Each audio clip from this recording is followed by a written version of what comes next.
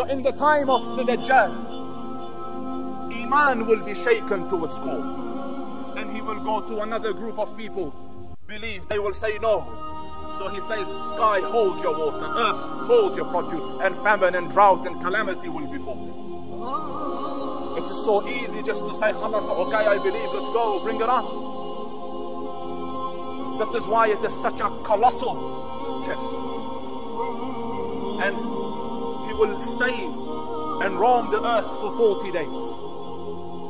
The first day will be the length of a year. And look at the ashab of the Rasul. When he said to them, a day like a year, their concern was, it wasn't what time will I wake up and sleep? Do I sleep for six months or Prophet? They said, what about Salah, ya Prophet? How do we pray? If it's, do we pray five times in the whole year? Well, so the Prophet wasallam says, "Uqdiru lahu qadra." Allocate times for it. Replicate the days. So the first day will be like a year. The second day like a month. The third third day like a week. And the fourth day will be fourth and onwards will be like ordinary days.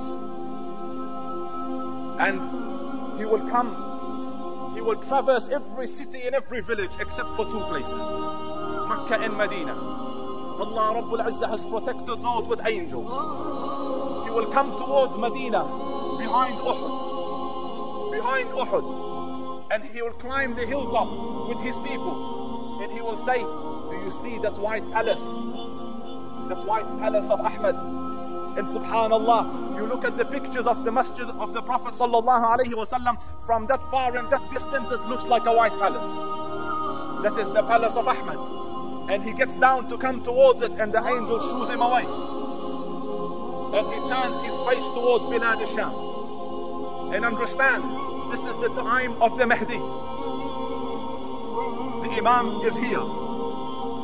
And the Dajjal has come.